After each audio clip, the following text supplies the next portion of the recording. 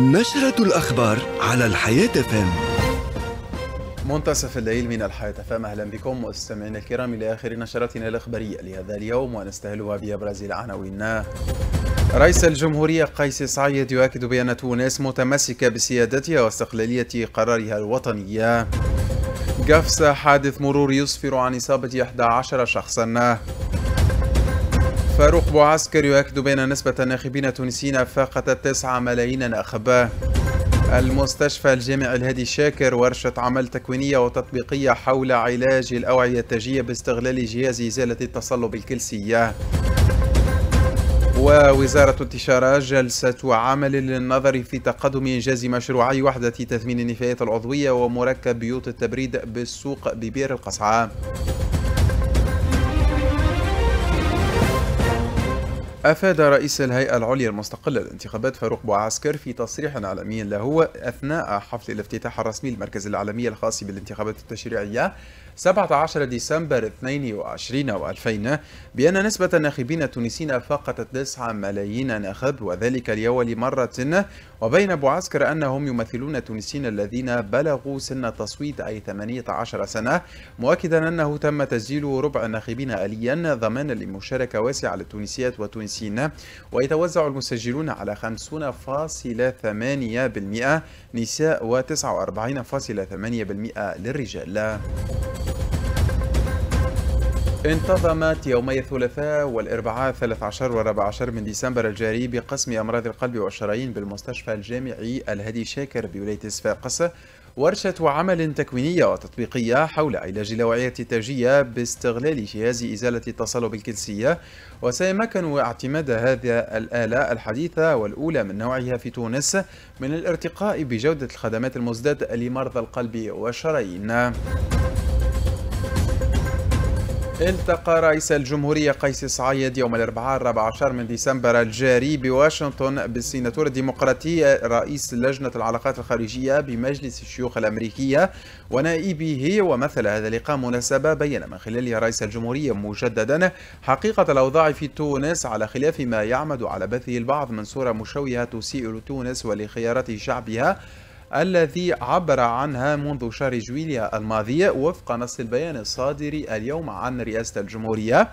وبين رئيس الجمهورية وذكر بالخطوات التي تم قطعها بدعم شعبي واسع وأشار إلى أن تونس مقبلة على تنظيم انتخابات تشريعية في احترام تام لموعدها. وبين سعيد أن تونس متمسكة بسيادتها واستقلالية قرارها الوطني مع انفتاحها على الحوار والتشاور مع الشركاء والأصدقاء.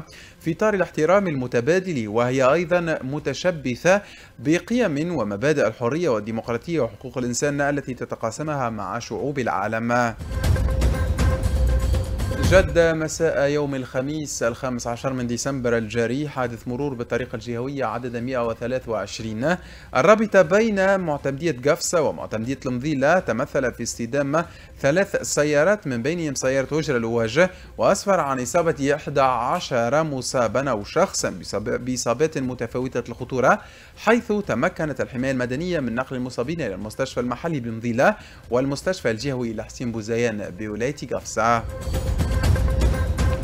أشرفت وزيرة التجارة وتنمية الصادرات فضيل الرابحي بن حمزة صباح يوم الخميس الخامس عشر من ديسمبر الجاري على جلسة عمل خصصت للنظر في تقدم نسق إنجاز مشروعي وحدة تثمين النفايات العضوية ومركب بيوت التبريد بالسوق ذات المصلحة الوطنية للخضر والغلال ببير القصعة وذلك بحضور المتصرف المفوض للشركة وعددا من إطاراتها. أشرف مالك الزاهي وزير الشؤون الاجتماعية بعد ظهر الخميس على افتتاح مقر الصندوق الوطني للتأمين على مرض تونس واحد وذلك إثر إعادة تهيئته تبعا للحريق الذي شب به مؤخرا. تم بعد الظهر يوم الخميس الخامس عشر من ديسمبر الجاري اختتام أشغال اللجنة القطاعية المشتركة التونسية الجزائرية في مجال العمل والعلاقات المهنية المنعقدة بتونس في الفترة الممتدة بين يومي 13 و 15 من ديسمبر الجاري وذلك بالتوقيع على محضر اجتماع هذه اللجنة قبل من قبل حياة بن إسماعيل رئيس الهيئة العامة للشغل. وتضمن محضر اجتماع جملة من الأنشطة التي سيتم تنفيذها خلال السنة المقبلة في مجالات تفقد الشغل والحوار الاجتماعي والصحة والسلامة المهنية والتكوين والدراسات بين البلدين.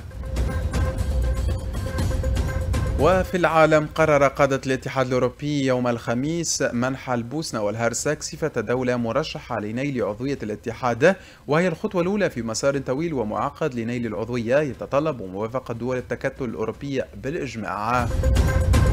نهاية النشرة الإخبارية وهذا التذكير بأبرز ما جاء فيها. رئيس الجمهورية قيس سعيد يؤكد بأن تونس متمسكة بسيادتها واستقلالية قرارها الوطنية. قفصة حادث مرور يسفر عن إصابة 11 شخصا. رئيس الهيئة العليا المستقلة للانتخابات فاروق عسكر يؤكد بأن نسبة التونسيين الناخبين يفوق التسعة ملايين ناخب. المستشفى الجامعي الهادي شاكر بولاية صفاقس ورشة عمل تكوينية وتطبيقية حول علاج الأوعية التاجية باستغلال جهاز إزالة التصلب الكلسي وقادة الاتحاد الأوروبي يقررون منح البوسنة والهرسك صفة دولة مرشحة لعضوية الاتحاد الأوروبي. نهاية النشرة الإخبارية قدمها لكم نصر الدين حميدة تصبحون على خير.